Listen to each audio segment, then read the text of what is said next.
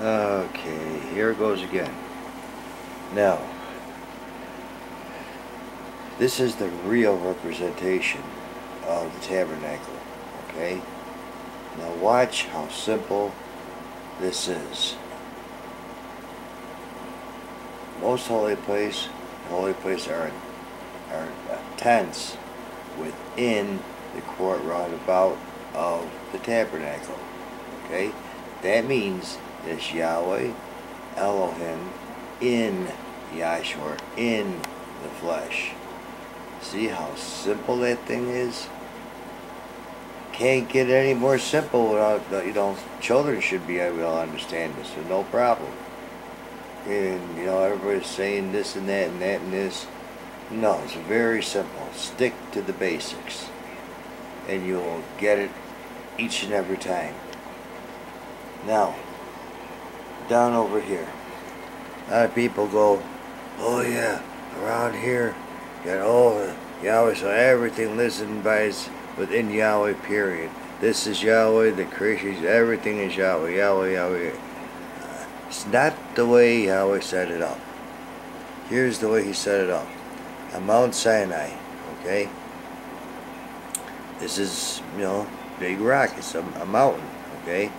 Yahweh sat on top of the mountain with the cloud. Okay? So now you got the cloud here, and then Elohim coming forth from the cloud. Okay? And at the very end of this particular purpose, he was red. He's got to be red. Okay? Because that's the lamp slain from the foundation of the world. Okay? That's simple. So, he, come, he comes forth from Yahweh. The other way, there's no way he's coming forth from Yahweh. Okay, now this way here, he's coming forth from Yahweh. Okay, now watch, watch, watch, watch. This here, just another manifestation of you. This is, what, 4,000 years ago roughly? Then you got you, which is dust of the earth. So you got you, and then you got your cloud or your brain up here. And the words come forth from you or your cloud. Okay? So you are actually the reality of what was back here. Okay, see how I'm putting this together? It's very, very easy. Okay, you're your brain is the cloud, likened to the cloud. Your body is likened to um, Mount Sinai. Okay? Word or words. Okay? Coming forth from the brain. Okay? Very easy. Now, um, okay, I think this might be about it because I've covered many, many, many, many, many different topics. And, you know, if you start off right, you're going to wind up right. Okay? There's a cloud here, a cloud over here. Okay? Elohim's here, Elohim's here. Okay? Yahshua and Yahshua over here would be equal to, at this particular time, the, um, the flesh. Okay? Because of the um, see the way Doc Kinley put it this here is um, um, refers to see this is Yahshua, Elohim and Yahweh all all in one body okay?